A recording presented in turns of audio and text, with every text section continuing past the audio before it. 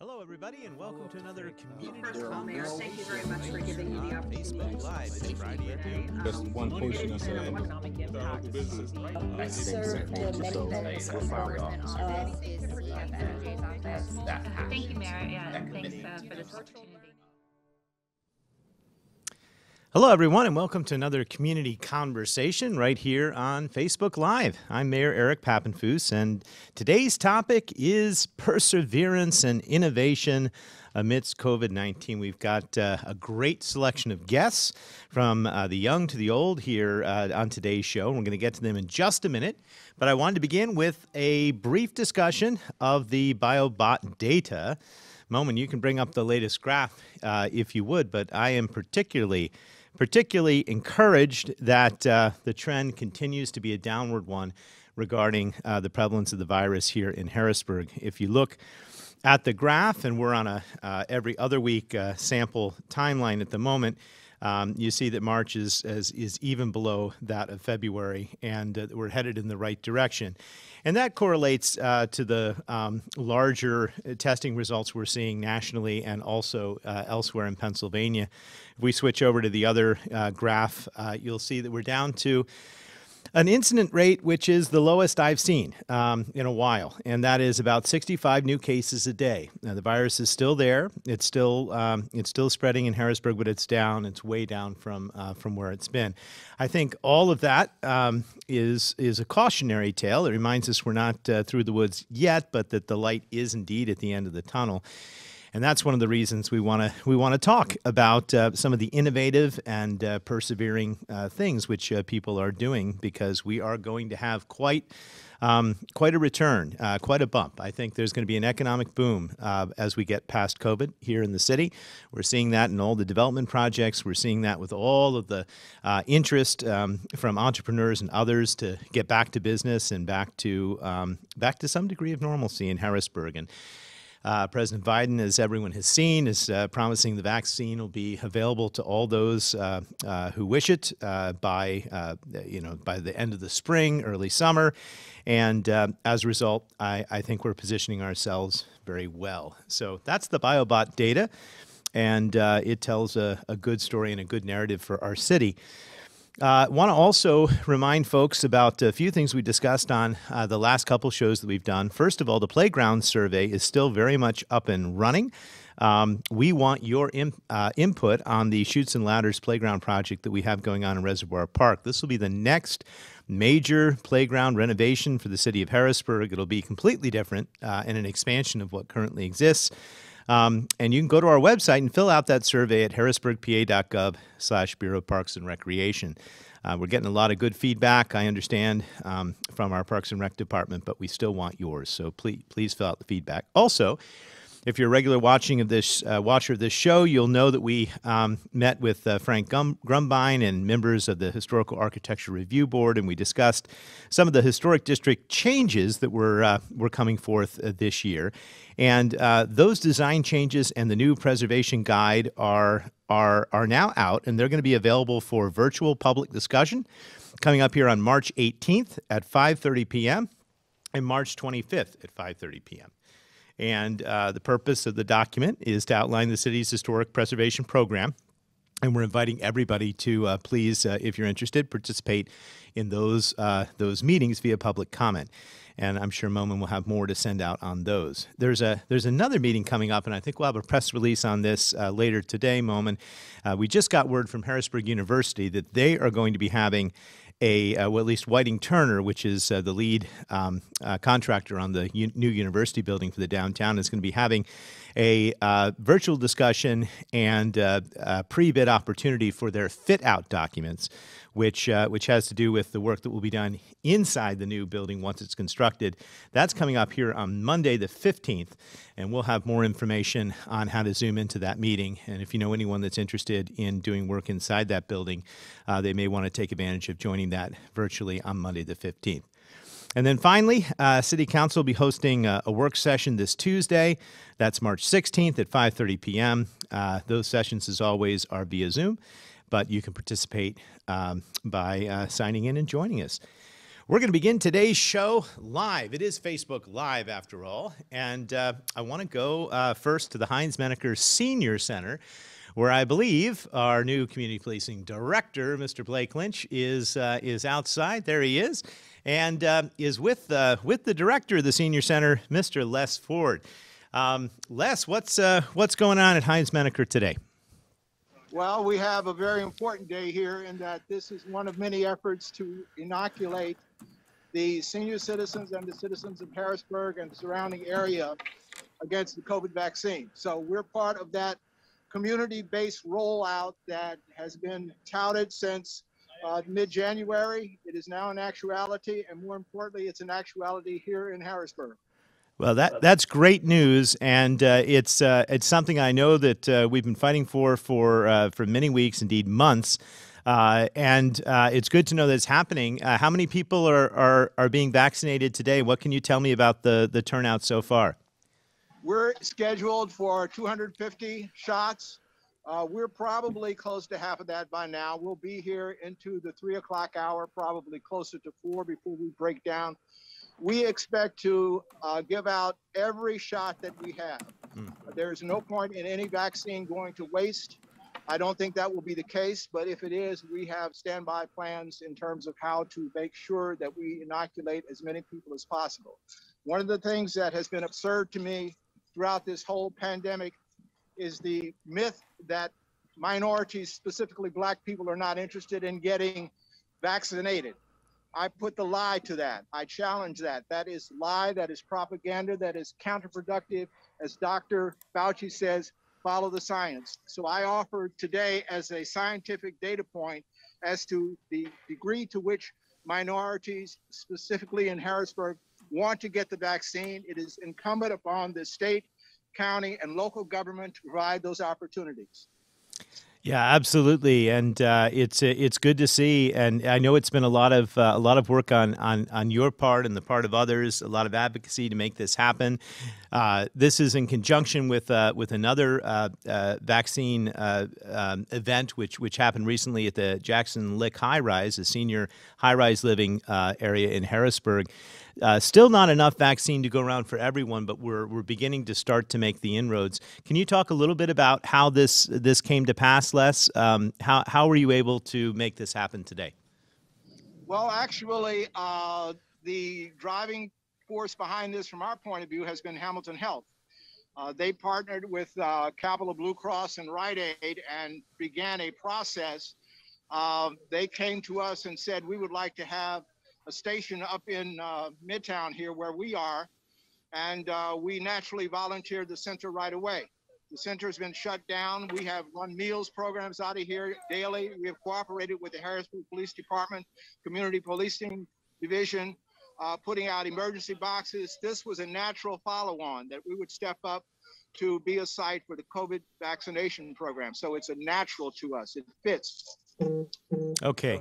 Well, th- thanks a lot, Les. And uh, Blake, one question for you since you're there. Um, how's uh, how's the turnout been? Has it been uh, relatively straightforward? And what's been the role of uh, our community policing team? Sure, sure, Mr. Mayor. So the uh, turnout has been fantastic. Uh, we have a lot of people that have come out so far, as Mr. Ford has said. we have our officers that are out right now talking with residents, helping them direct traffic, answering quality of life questions that they may have about different things in the community. It's always uh, advantageous for us to be out in the community and just again, quality of life, answering questions and assisting. Uh, and then as you see currently now, there is a line going into the senior center right now. People are registering, they're getting ready to go in. So we're very excited about that, Mr. Mayor.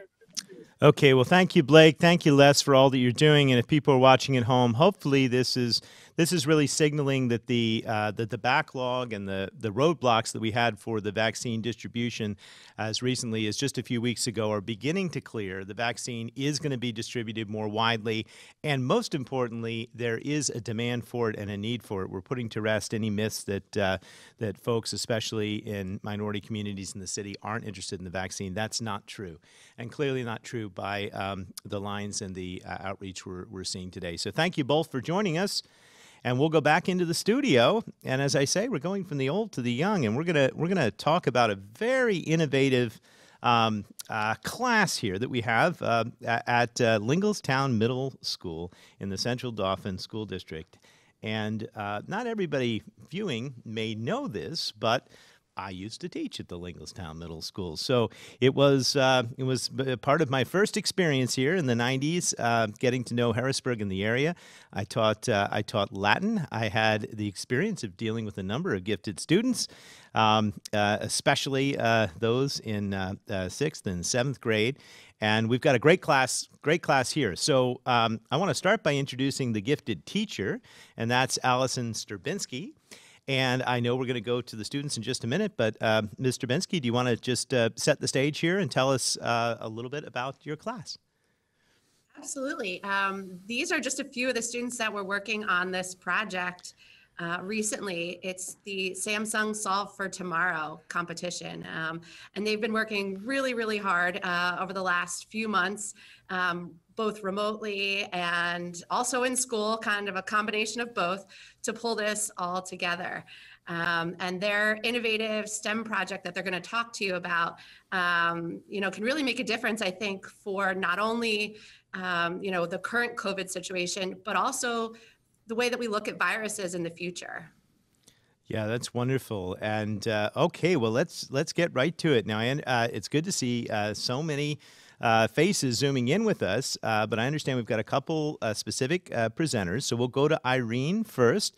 Um, Irene, uh, can uh, this is Irene uh, Sedum, if I'm saying your name properly.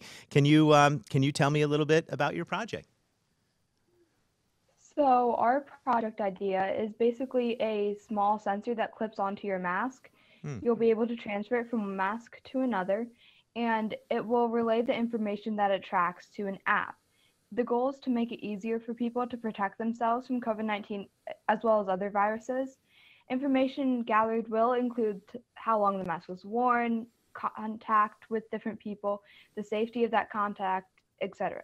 So the app will also allow people to access local news about viruses and to log and track their symptoms, which can then be sent to doctors. Wow, that's incredible. Now, uh, how, how did you come up with uh, with this this this project? Irene, can I, can I follow up with you, and then I'll I'll go to Lucy next. Yeah. Go ahead, Irene. So we were looking for a more effective way to track viruses. Throughout the planning process, we landed the, on the idea of a face mask with a computer inside it. And over time, as we worked through the competition process, we met frequently and worked hard to further the concept until it evolved into what it is now. Wow. That is wonderful, uh, Lucy. Let me uh, let me go to you. Uh, this is Lucy Tibbs, and uh, let me ask you a little bit. So, how has uh, how has COVID nineteen basically affected the way you, you you guys have approached this project, as opposed to um, how you would normally do uh, a school project in when things aren't virtual? Um, well, throughout the process of this competition, um, our school has unfortunately been closing and opening up again due to Mhm. COVID. So, as a team, we decided we would meet at least once a week, whether we had to meet over Zoom or in person at school. Some of our team members were at school and some of them were at home, and we had to learn to overcome the obstacles that occur because of distance learning. But we eventually figured out how to cooperate between Zoom and in person learning to further our idea.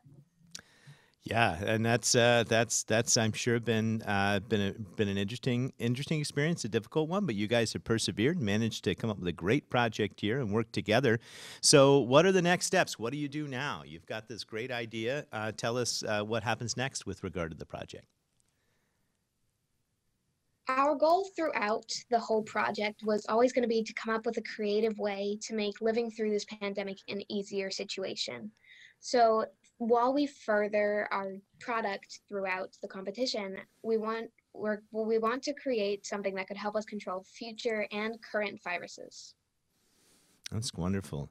Well, let me introduce the other folks that are on here. We've got uh, Lizzie Camilli and Alex Mendelson. We've got Luke uh, Hitchcock, Raiden Gordon, uh, Bryn DeFrank, and Annabelle Freitag.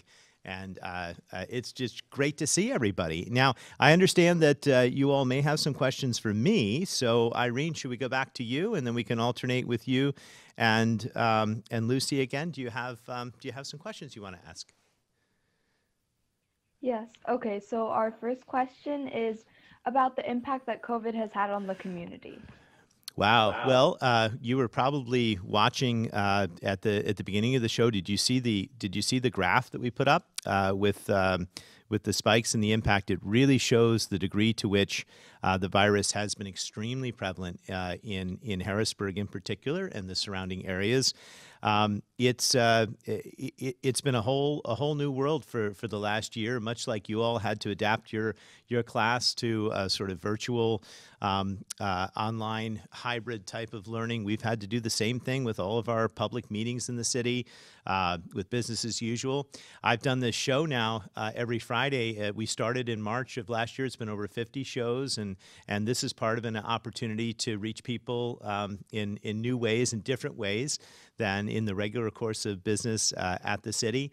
Um, we've had different stages of the pandemic, but uh, now now we're really focused on on making sure that the vaccine is available to all those who need it, and that's why we started with the uh, the live shot there from our senior center in the in the middle of Harrisburg. These are folks that have been uh, desperately wanting the vaccine. We're finally able to get it. Um, the supply chain issues are are now being addressed by uh, the new administration in D.C., and we're we're pleased by that. Um, do you have another question?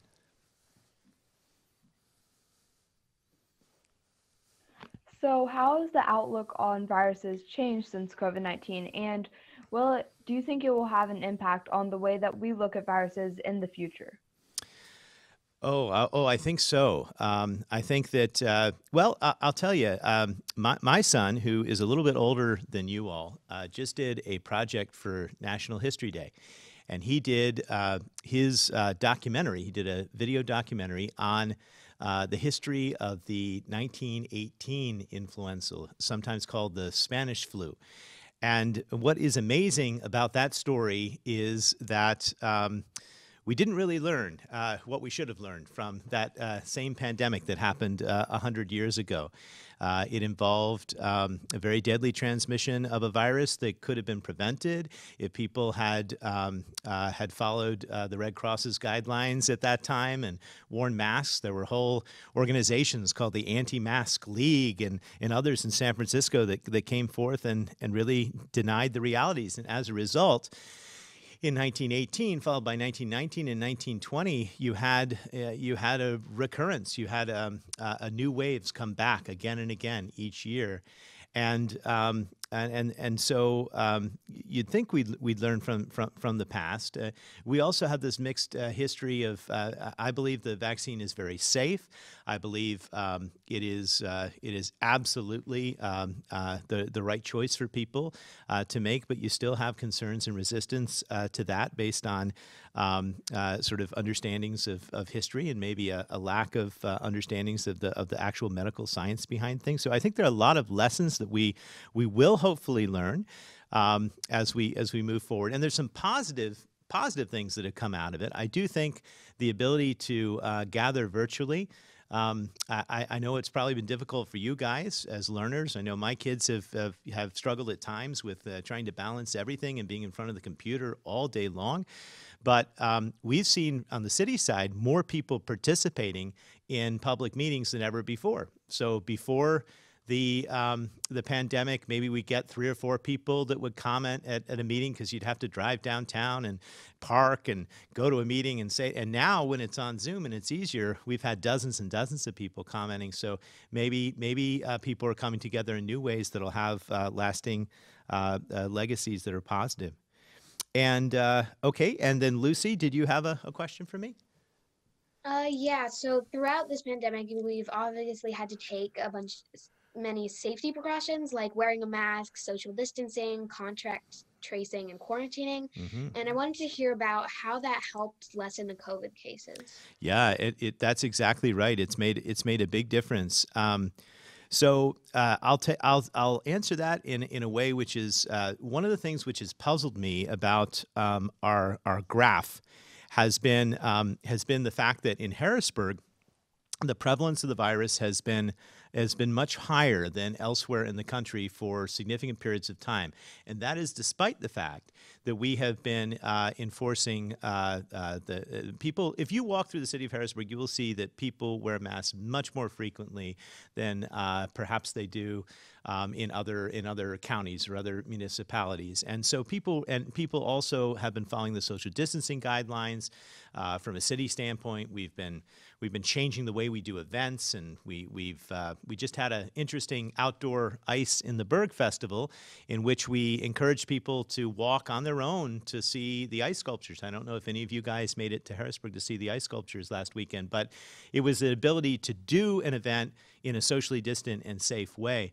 Despite all that, we've we've still seen the virus be be be very prevalent in Harrisburg. And I asked uh, I asked a doctor uh, from UPMC, you know, what what why that was, and it had to do with the fact that we have a lot of uh, uh of intergenerational households in Harrisburg, and we have a lot of folks that were spreading the uh, virus uh, within their homes that, um, uh, you know, in which they were perhaps asymptomatic. They didn't even know they had it, and they were they were spreading it. So um, it's a it, has been a challenge to uh, to get those um, uh, to to talk about those important things, which we've done every week, but also to get the virus under control. So it's only been pretty recently that we're beginning to see a real decline, and I'm very hopeful for the future, especially as the vaccine rollout becomes more prevalent. That uh, that we're we're we're definitely headed in the right direction. So thanks for that. Okay, is there is there any final any final question from from the group? We did have one last question. Okay. Um, I was wondering what the most challenging part of handling this pandemic was within the city and the community. I would say the most challenging part was uh, was communicating uh, at a time when you couldn't use uh, the, the, some of the traditional traditional methods. Um, you know, even as a as a as a candidate, it's been very interesting. Uh, we're having an election cycle now in Harrisburg, and uh, it, traditionally you'd go door to door and you'd have long conversations in people's uh, living rooms, and you can do some of that, and you can do it safely, and you can wear a mask and be socially distant, but it's it's hard. And so, um, uh, very early on, we've we've we committed uh, uh, committed to having a, a, sort of central clearinghouse on our website for information. We've gotten that information out through um, all sorts of digital social media ways, but also through traditional mailings and uh, trying to reach people. Um, amidst uh, amidst the pandemic has been has been a challenge, but I think we've uh, we, we have done pretty well, as well as to stay uh, optimistic and to realize that we can learn from history, like the lessons we talked about hundred years ago. But we um, we also were going to make it through it. It was just a, a matter of um, you know sticking together and innovating and persevering, which is the theme of our show. So. I want to thank you all. You guys are amazing. You remind me of my, my teaching times. That was over 20 years ago, but um, what a great class. Continue, uh, continue innovating and thinking and, and doing all the hard work. And really, you're a great segue into our, our next group. Um, which is uh, we're going to be joined by Ted Black, who is the uh, president and CEO of the Whitaker Center for Science and the Arts here in Harrisburg. And uh, boy, Ted, I hope you were as impressed as I was with um, with all the kids from uh, uh, from the middle school.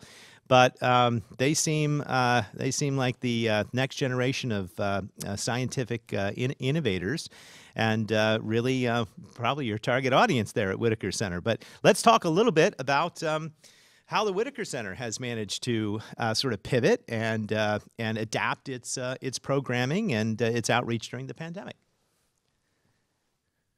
Yes, uh, thanks, Marin, and absolutely wildly impressed with um, with those kids. The, the maturity level, even just the maturity level of the questions, yeah, um, uh, is it was was interesting. Um, so good job to to those groups, those kids who, who I'm sure represented their classmates equally well. Um, yes, you're right. Uh, so that that is the future. When we talk about STEM, for example, uh, teacher was talking about their STEM project that age group and, and actually earlier is when kids need to get involved in STEM, especially certain groups. You know, there is a generate there is a uh, gender gap uh, in STEM profession right now. So if you look at uh, professionals in STEM, you know, in their 20s, there's a significant gap. Um, it's you know roughly about 70 30. I think it's closing but the way to close that gap isn't by starting something up, you know, and looking back 10 weeks or, or 10 months. You, you have to reach all the way back into elementary school because uh, if a little girl, for example, by grade five isn't involved in STEM or really interested in STEM, there's this the data shows that she falls off an educational cliff. So wonderful affirmation that that uh, that school and, and their wonderful teacher are doing a great job, and that's what Whitaker's all about. Um, that's where you get your first introduction to, uh, and, and maybe when you're crawling uh, in pre-K programs, your first introduction to STEM learning here, and you're also your first introduction to the arts because we also talk a lot about STEAM.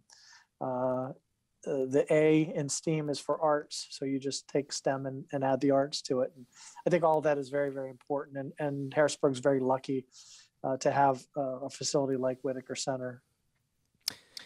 Yeah, yeah, no, absolutely, and uh, I agree. So, um, but uh, but how have you basically uh, adapted your programming? I know that we've um, uh, uh, we've profiled some of the things that you've done, but can you can you tell the public? Uh, I see I see, for instance, in this morning's Patriot News on Penn Live that you're going to be reopening.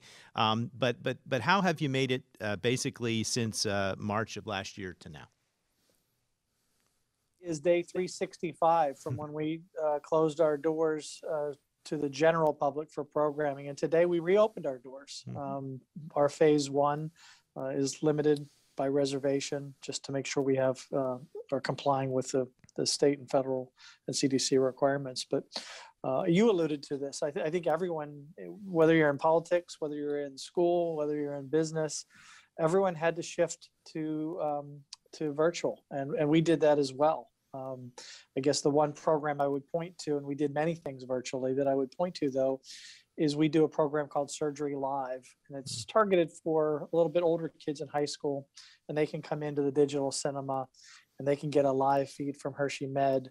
Um, where the doctor is using a scope inside of somebody's stomach, for example, to perform a procedure um, we did we shifted that to virtual. Uh, so in partnership with uh, with Hershey Med, we are able to take that program to high schools. And there are many tragedies with the pandemic. There are also things that are going to make us better.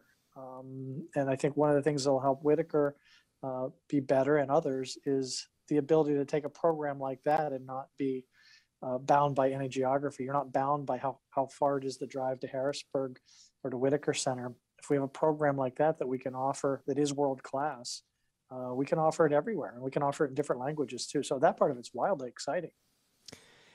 Yeah, and would you say that um, that's an example of uh, something which has sort of emerged as an innovative idea amidst the the pandemic, but um, will will last long after, uh, and that uh, you know we we've learned how to um, uh, share and reach people in in in new ways that that that ought to have a, a real positive effect.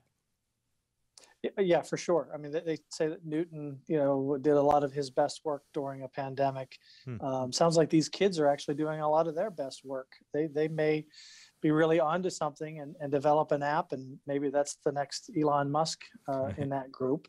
Um, so yeah, I, I I think for us, it's we've talked a lot about Whitaker without walls, and uh, having to close our building um, uh, allowed us to to really accelerate that thinking. And I and I think for a lot of businesses, uh, entities that have have found a way through this.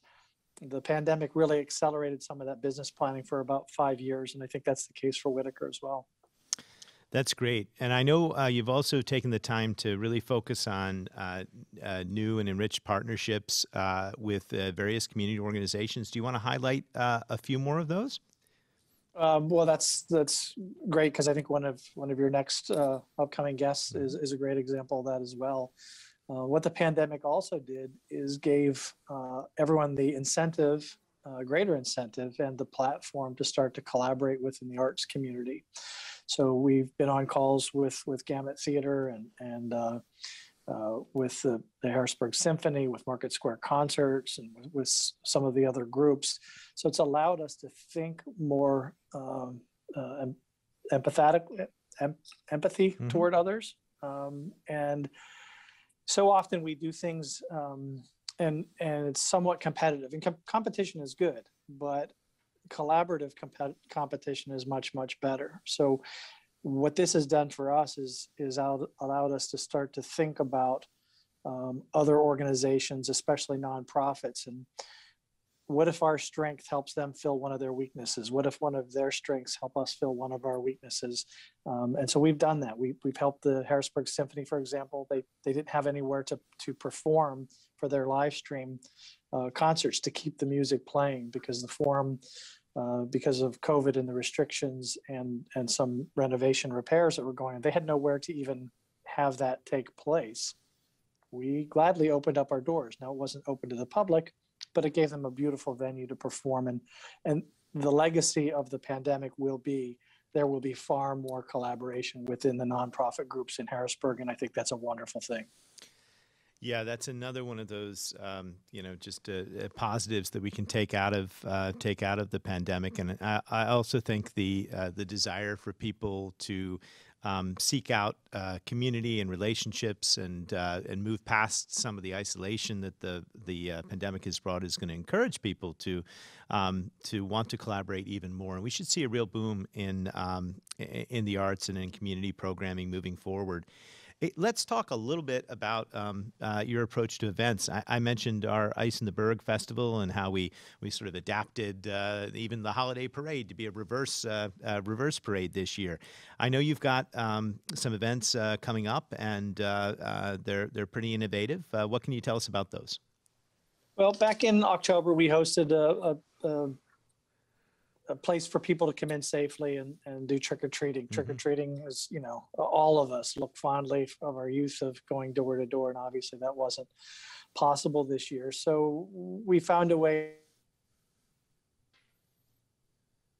trail through uh, Whitaker Center to celebrate Halloween and give kids treats. And, and thanks to Hershey's, um, they give you know, they're so generous in our community. Um, so they they help to sponsor that and provide uh, mm-hmm. provide the candy. We're going to do something similar on March 27th called the Bunny Trail, where you'll be able to come down and walk through and um, uh, celebrate Easter. And that will be um, uh, on March 27th, as I said, uh, there'll be some take-home activities um, and just to celebrate, you know, celebrate spring, celebrate rebirth, celebrate, you know, the next phase that we're entering now, which is very exciting.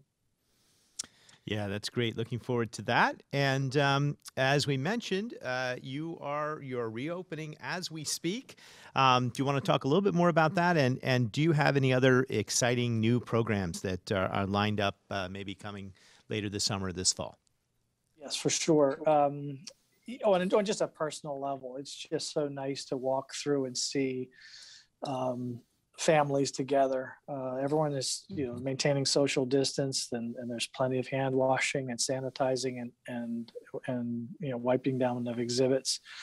But just to see folks, you know, parent, child, caregiver, child together is very inspiring for our staff. Those are things that really don't, you know, show up in you know, when you're looking at cold business numbers or things like that and projects. And at the end of the day, that's really what it's all about.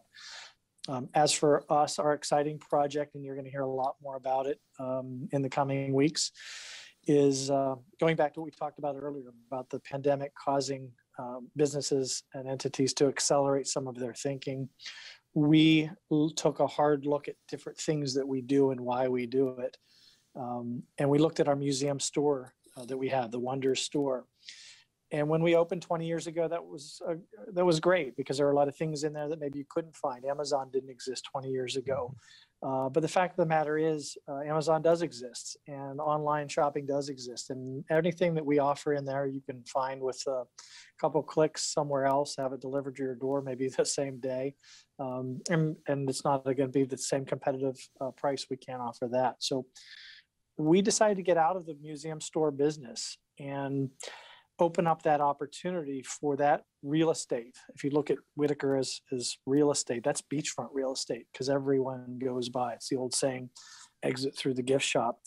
And we're going to convert that whole area uh, and, and have a greater connectivity to our select medical digital cinema uh, and create what we're calling the innovation zone. And it'll be a place for the kids, you know, kids just like what you just you just featured on your show. Um, and the first phase of that is going to be what we're calling the purposeful gaming studio.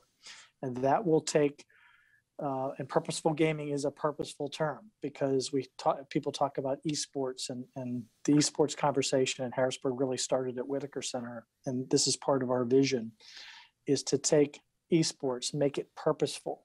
Kids are interested in playing video games and, you know, parents are seeing that quite a bit. How do you take that interest in something like that and leverage it into an interest in coding, interest in what some of these kids just did, an interest in graphic design. So there's a lot of left brain, right brain, interest in the arts, interest in storytelling, interest in in in the competition, which is good too. And then how do we incorporate the other investments that have been made in Whitaker Center? We have a 40 foot high digital cinema right next door to where we're doing this. That's a giant computer screen. You can watch movies on it. We do our surgery live program, but you can all do a lot of interactive um, gamification education uh, in that space. So that's our wildly exciting project. We received a $750,000 RACP grant. Uh, we were one of only five projects in the state uh, that were awarded a RACP grant. And so I think that's also an endorsement from the state level that there is a lot of value to taking something that kids are doing now, the games, and leveraging that opportunity. I, I, I jokingly say it's tricking kids into the vegetables, but you don't have to trick these kids. These kids, you know, you just show that they're wildly interested in science and technology and education, um, and it's accelerating at a high rate. And kids' uh, adaptation to technology is stunning. Kids seem to be able to operate an iPad before they are out of a stroller. And so we're very, very excited about that project. And that'll be opened up October 1. Wow, that's uh, that's great, and that's fast turnaround. And congratulations on that uh, that state grant. Uh, thanks for letting us know about how the Whitaker Center has been innovating uh, through the pandemic, and will continue to be a real uh, cornerstone for all that we do here in Harrisburg. Appreciate your time. I, I want to go now to Julie James, co owner of the Radish and Rye Food Hub, and talk a little bit about uh, one of the businesses in Harrisburg that um, uh, has not only persevered through the pandemic, but uh, it has grown and has just opened a remarkable uh, new space. Uh, on uh, Third Street in Harrisburg, right across from the Broad Street Market. Welcome, Julie. Uh, can you tell us uh, a little bit about the Radish and Rye Food Hub?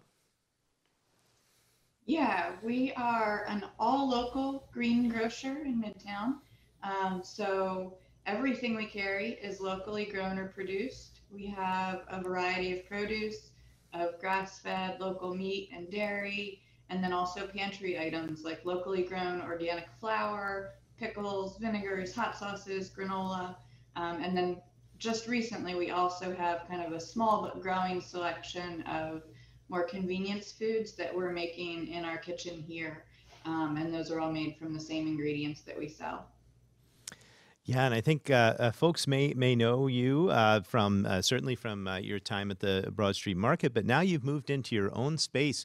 What what spurred the uh, the move to um, create this beautiful, and I do mean beautiful. It's a it's been a tremendous transformation of of into a, a, just an incredible space, and I know you've worked hard at it all through the pandemic. But what what spurred the move to create your own um, venue? Yeah, um, we actually started on the project well before the pandemic. Our plan was to have the market stand, which of course was only three days a week, but also to have this standalone location that we could have open. Uh, originally, the plan was seven days a week, but but to be more accessible and available on those non-market days, um, and also to have a, a bigger footprint because our market space was so small. Um, but when the when the pandemic hit, we found that um, it it just didn't feel safe in our tiny little space, especially given the time constraints. You know, it was it was always a, a very dense space, and uh, demand increased a lot as restaurants closed and people, you know, all grocery stores were experiencing a lot of a lot of demand. Um, and it, it just wasn't really working in that tiny space in three days a week. Um, so we we originally were just trying to you know have have a second location um, but then the, the market just didn't feel viable without that density yeah. Now, now you've touched on this, but you, you're in an industry in the, grocery industry, which which is actually one of the, the few in, industries which which saw growth and probably phenomenal growth really in the midst of the pandemic. And I uh, I know from uh, my own experience that uh, you you adapted uh, very early on, providing uh, curbside uh, pickup and online ordering. And I mean, you you were very well positioned. Tell us um, tell us though about how you've how you've been able to cope and deal with the demand, especially the demand for local, uh, healthy, healthy food, which um, which is has become even even more important amidst uh, amidst the health crisis.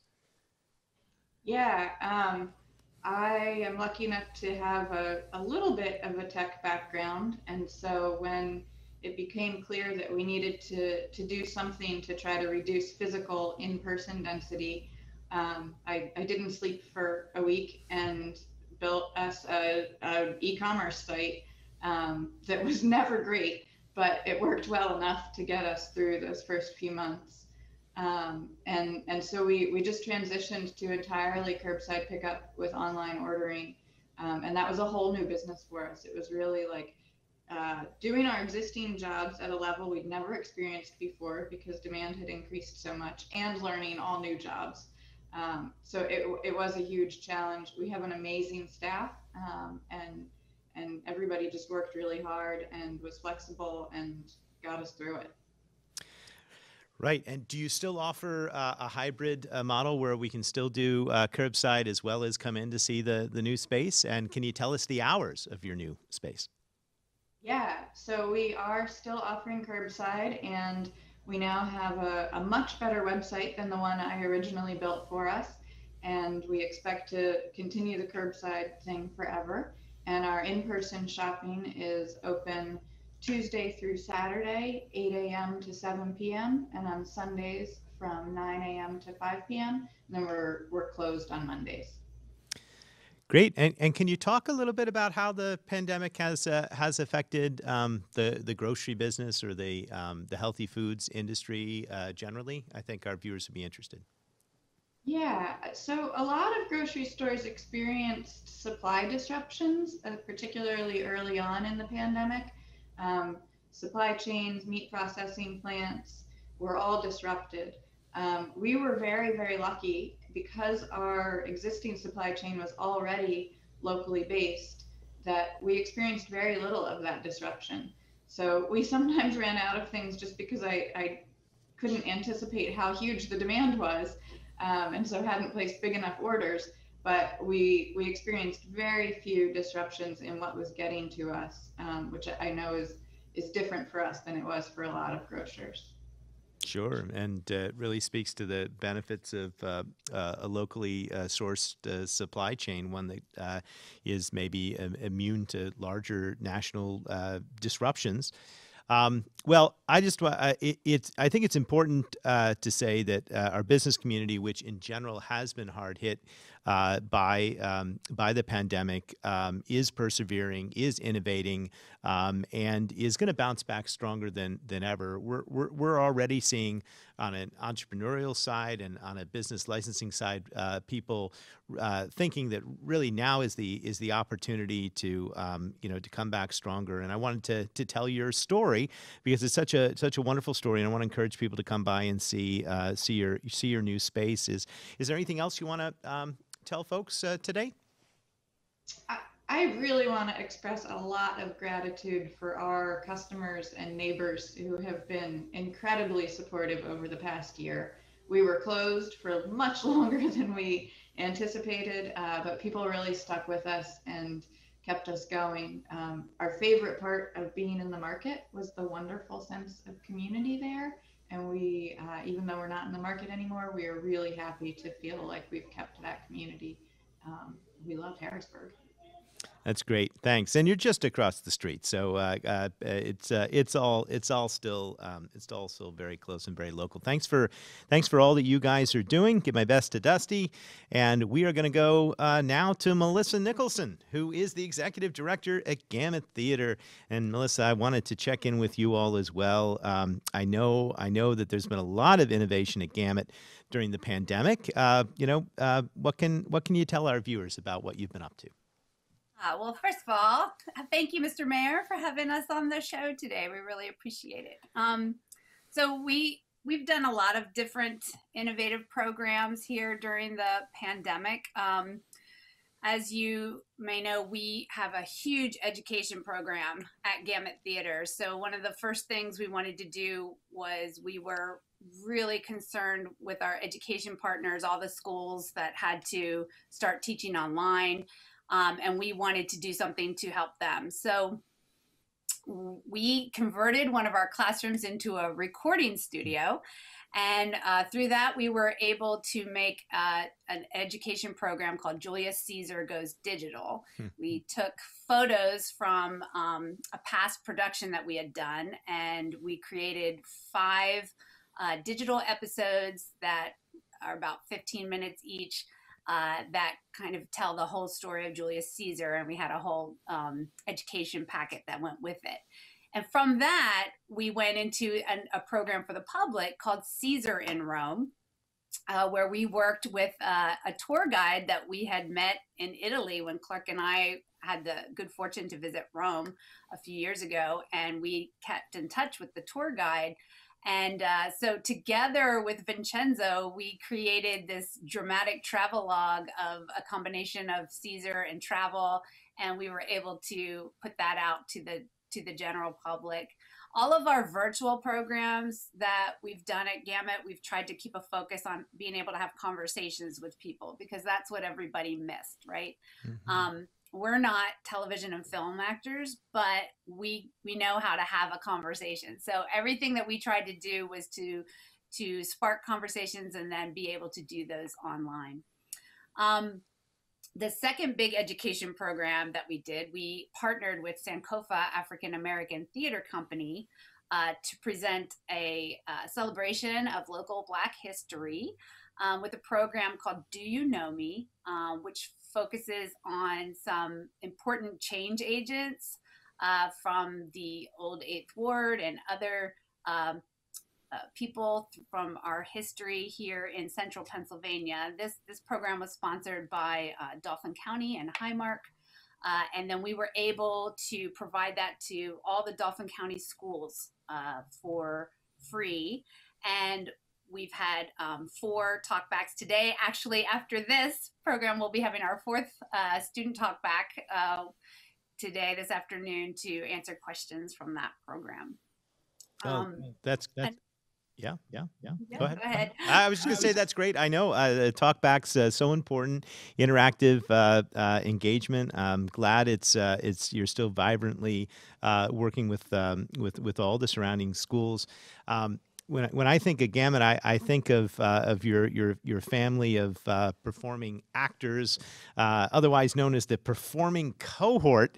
Um, you know, what can you tell us about um, uh, how how the actors and uh, themselves have, have been able to persevere through the pandemic? Well, we were uniquely positioned at the beginning of pandemic because our actors live in company housing. So when we went into uh, lockdown, they were their own bubble. They were already living together. So uh, that made it easy for them to perform together. Uh, so a, a, a performing cohort at Gamut are actors who are in their own bubble. So we have our core company actors, but then we also got creative. We um, we produced a show that uh, featured a married couple. We have another show that's going to be coming up that has a, a, a husband, wife, and daughter uh, that are the performing cohort. So uh, what that means is they're able to perform together on stage unmasked because they are already in their own bubble. Mm-hmm. Um, so that's kind of one of the innovative thoughts that we had going into our programming. Yeah, I, so I think a, a question on a lot of people's minds are, you know, uh, when are we going to be able to return to in-person programming, um, you know, and see live live theater again? I, I know that um, uh, there there there was an attempt to return to that in the fall. Um, and you look at the graph that we started the show with, and you'll you'll see that uh, it was right at the moment that it, uh, it it it spiked higher than it's ever been before. Um, so you had to pull that back a bit. But what what is the um, you know? Uh, I I keep saying there's a light at the end of the tunnel. Um, in the, in the world of theater, uh, where do you see us going, and uh, what types of safety precautions are are being put in place? Sure. So uh, Gamut developed a risk assessment early on so we could make our own decisions about when we thought it would be safe to have uh, people in the space, of course, socially distanced, masks that cover your nose and mouth, all the good things in place. Um, so we use the uh, Harvard's Brown School of Public Health um, to uh, measure key metrics. Um, and we use the positivity rate. So those two things together are how we determine if we can have in-person shows. So we were able to do a show in September, a show in October, then we shut down in November because, as everybody knows, that uh, numbers went crazy. But watching the trends of what's going on now, we are very hopeful that we are going to open on April 9th with all of our health and safety protocols in place, very limited seating. Um, we are lucky at Gamut because we have a nice big space, so we can space everyone out. Um, we're going to do uh, two short one act plays by August Strindberg in um, April called Two by Strindberg. And then in May, we're going to do a family friendly The Adventures of Little Red Riding Hood. And in June, we are back out Dun, to dun, the dun. park. Yay! And and what what's it going to be this year? Free Shakespeare in the Park. We are doing Hamlet. Oh, back to back to back to basics. We're getting uh, that's going to be that's going to be incredible. We, we we need it. Uh, I think that'll be a real a real moment uh, for Harrisburg. And to top it off, I now understand that you are a certified COVID nineteen compliance officer. Uh, congratulations! You can uh, you can take that that training with you as uh, as we move forward. But no, in, in all seriousness, we uh, we're we're um, uh, people are, are craving and really starving for uh, for live theater to, to return, and it's good to know. Uh, two by Strindberg in, uh, in coming in April, Ventures of Little Red Riding Hood, and then uh, culminating here this summer with uh, a, a wonderful outdoor um, opportunity. Shakespeare in the Park will be back. Uh, what year will this be for Shakespeare in the Park? This will be the 28th. Wow. Wow. Okay. Crazy. Well, uh, Melissa, is there anything else uh, you'd like to let viewers know? Yes, I do have one other exciting announcement. Um, in January 2022, Gamut Theater is going to be hosting the International Shakespeare Theater Association Conference. Um, so we are already in the throes of planning that. We are partnering with the Hilton here downtown, the Whitaker Center, uh, Harrisburg Symphony Orchestra, Market Square Concerts. So, in addition to hosting the conference and having um, representatives from Shakespeare theaters all over the world coming to Harrisburg, we're going to have a whole community component um, running at the same time. So, there's going to be performances and special events that the community will be able to take part in too to celebrate Shakespeare. Oh, that's Oh, that- something really to look forward to. That'll be that'll be great. Can't wait. All right, we'll talk about how the city can uh, can help partner with you and get the word out. And um, uh, I can't uh, can't wait for, for for that to happen. So thanks thanks uh, Melissa for joining us. Thanks to all our guests. Just a quick programming note: we were going to have uh, Bradley Wainwright. He is uh, the CEO and the owner of Urban Revolution Marketing and Branding. They're the company that just produced the very successful Black is Beautiful Expo uh, downtown at the Crowne Plaza that uh, I had the pleasure of um, uh, visiting with. Bradley had um, had a uh, had a, uh, uh, personal emergency this morning, couldn't join us, so we will have him back in the future. Um, and Momen, I'm going to turn it back over to you. I imagine we've we've had some questions from our audience, and uh, yeah, you can take it away. Yeah, it's been a great conversation. I want to thank our guests. I just wanted to take a moment, um, an opportunity to, um, uh, for anyone that does have questions uh, that come in later, they can contact uh, all of our guests uh, via their websites. So I'll just list those whitakercenter.org. Uh, for the Whitaker Center, Radish and Rye is at radishandryehbg.com. Gamut Theater is uh, gamuttheater.org. And for those that have questions about the um, Incredibles, the STEM project, uh, they can reach the teacher, Allison Sterbinsky, at A S T E R, sorry, A S T E R B I N S K Y at cdschools.org. And for more information about the program, they can search for Samsung, Samsung Solve for Tomorrow. Okay. So, yep. Great. Great, Momen. Okay, well, we'll we will leave it at that because uh, we've uh, we've exhausted the full hour. So, um, uh, again, thank you to the, all the guests for uh, for being here. Thanks for the uh, perseverance and the innovation that you're doing. Um, uh, I'm encouraged, and uh, it's it's always uh, it's always good to, to see all the, the amazing things that are happening in Harrisburg and the region. So, thanks for having uh, been with us this morning, uh, and we will see you next week on our our Friday at noon community conversation. If it's Fridays at noon, you're going to be right here with me. Until then, I'm Mayor Eric Papenfuse saying thank you for watching. Stay safe and be well.